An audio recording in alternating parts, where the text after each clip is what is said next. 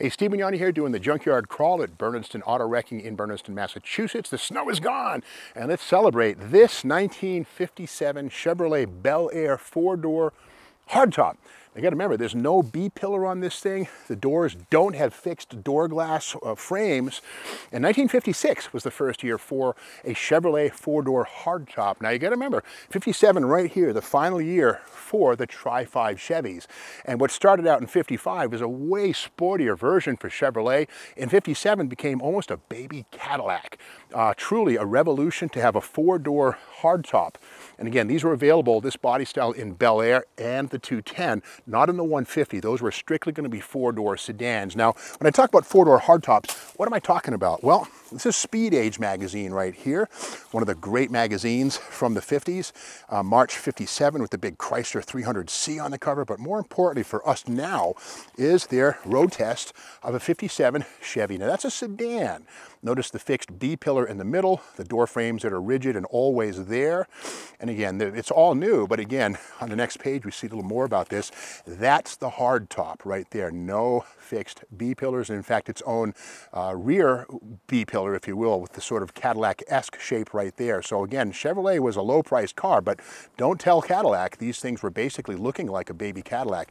Now we see inside the 120 mile an hour speedometer right there, went up from 110 of 1956, again, as the V8 went from 265 to 283 cubes, 120 was very possible. The headlight right there, interesting to see that sort of grill effect.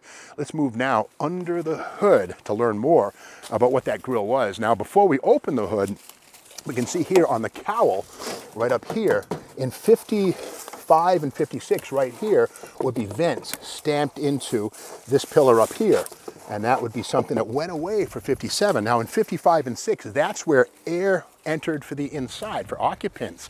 Well, for 1957, as that picture in the magazine shows, over the passenger side headlight, which would have been right here, was that vent.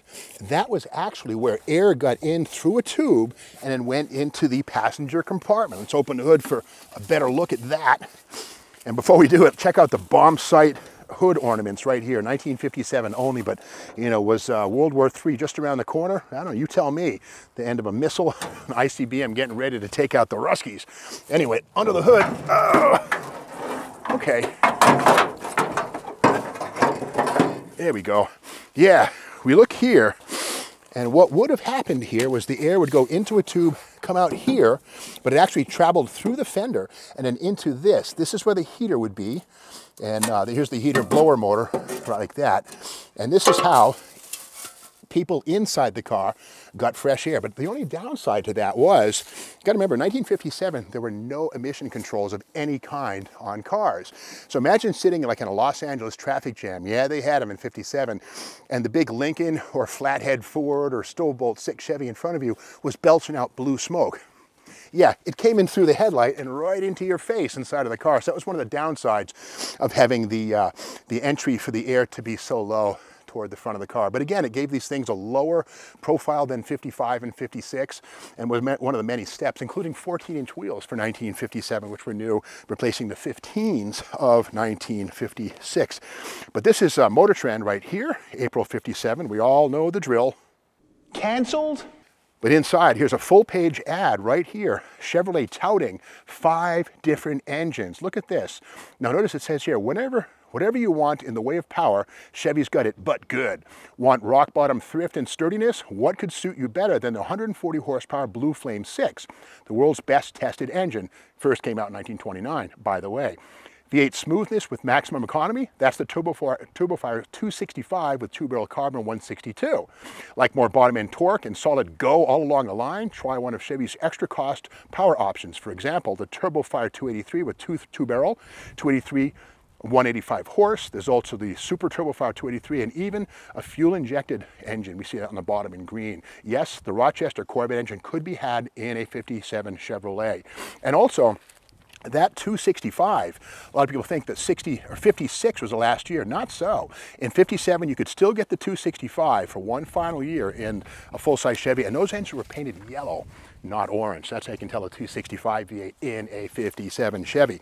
But again, this one here, there's nothing under the hood now, but uh, we can see the body on frame construction. This was a manual steering car. But again, for 57, you could load out a Chevy Bel Air about as optimally as you could a Cadillac. Air conditioning, power steering, power brakes, power wipers, all of those things very much available in 1957 as Chevrolet moved decidedly up market. Now let's get back inside this, this hardtop.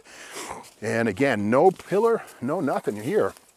The beauty of that is with the doors, uh, the windows down, you had the open air of a uh, nearly of a convertible. Now these cars were so popular that in 1963, AMT released a model of the 57 Chevy. This is the original box right here. And there's a drag version of the car right there. And on the other side, George Barris chimes in with uh, his tips on customizing. There's even a Chevy 409 engine option you could put in here if you wanted to.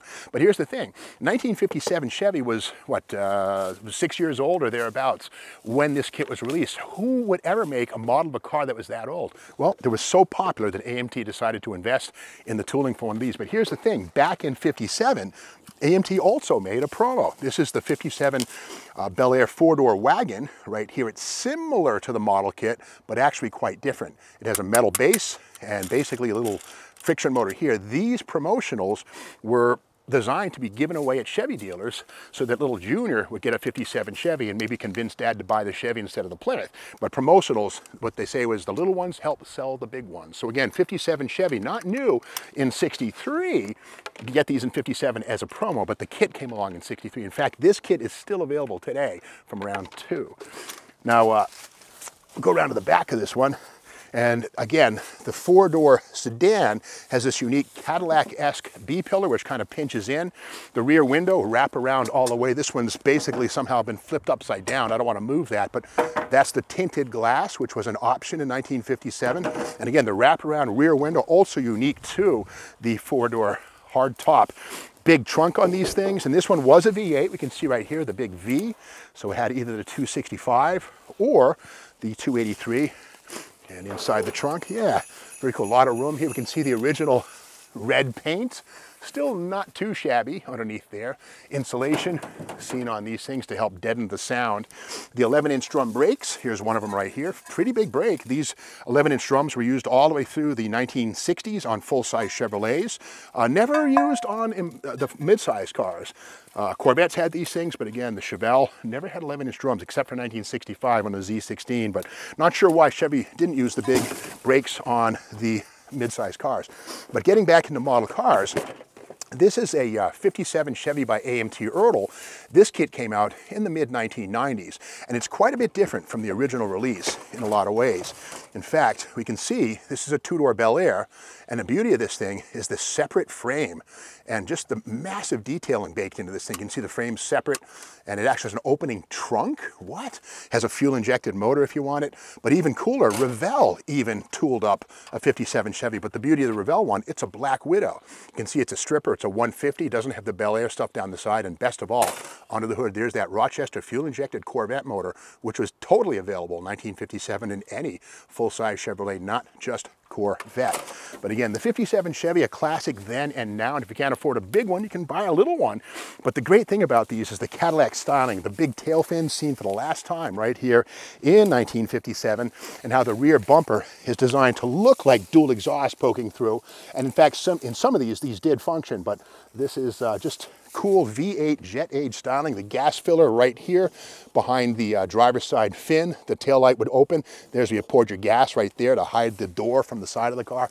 So again, this is where Chevrolet kind of took on Cadillac in their own backyard for about half the price. So that's the story of the 1957 four-door hardtop Bel Air, not a commonly seen car. Uh, now if you like this video, be sure to subscribe to the Steve Maggs YouTube channel, uh, ring the bell, share this with your friends, give it the thumbs up, and when you ring that bell, you'll be alerted to the next video, which happens tomorrow morning.